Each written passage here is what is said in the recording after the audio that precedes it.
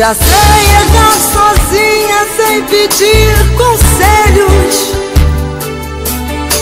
Se eu sofrer, quem é que vai chorar por mim?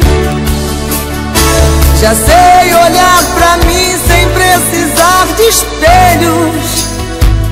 Não me diga